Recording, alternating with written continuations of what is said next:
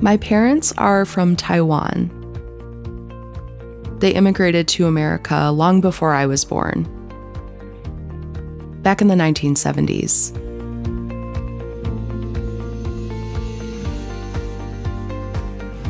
I'm the third child of four siblings. My brother, Kary, he is six years older than me. So by the time he was born, my parents went through all of the typical uncertainties that come with raising a deaf child. That by the time I was born, six years later, they were already prepared and more aware about it. They were able to quickly identify the similarities between us when we weren't responding to the typical sounds. Also, they had the advantages of being able to identify earlier what type of education I needed and the type of support I needed. They also already know sign language. Yes, I was born into a signing family.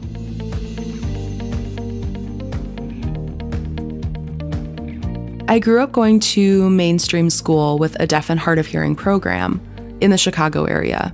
There were a few major mainstream schools with deaf and hard of hearing programs there, and I mostly grew up within the school system where the Hersey High School is a part of, but I graduated from Hinsdale South.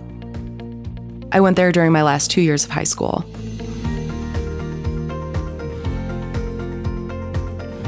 I started by attending the University of Illinois at Urbana Champaign in central Illinois. I started there and then I transferred to RIT NTID.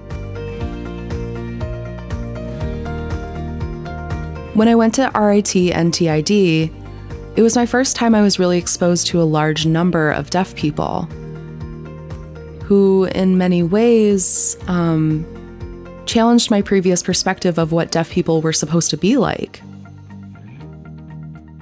I considered things like the fact that I am not white, the fact that I'm a woman, and I'm deaf as well. It's all different things that came into play when I was trying to discover my own identities there's not that many of them out there. I mean, there were many more deaf people, but necessarily finding others that are like me, I haven't found them yet at that time. My mother was an immigrant. English was not her first language. She was a single parent raising four children, two of them who are deaf, so it was a very challenging time back then. And I think that it had a real impact on the way that my brothers, sister, and I have handled things in our lives. We are very similar in the fact that we're all very independent. We're able to just do things ourselves because someone has to do it. It has to be me.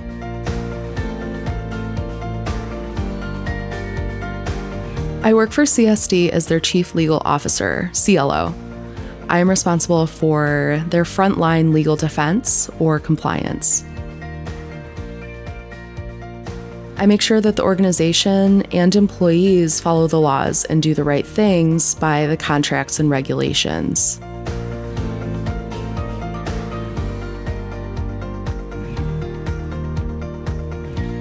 CSD gave me the opportunity that I most likely would never have gotten out there but because CSD understands deaf people, they understand the potential, the abilities, the value that deaf people offer. CSD is the first time ever that I am able to work with other deaf people as peers. Side by side, we work on projects together, trying to make the impact CSD is looking to create on deaf and hard of hearing communities.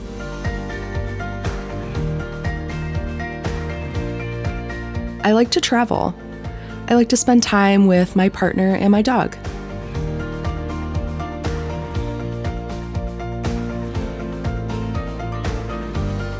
I really enjoy quiet times. Life can get really hectic when you're responding to one situation after another. So it's nice to just be able to sit down and relax at home and not really think about it very much.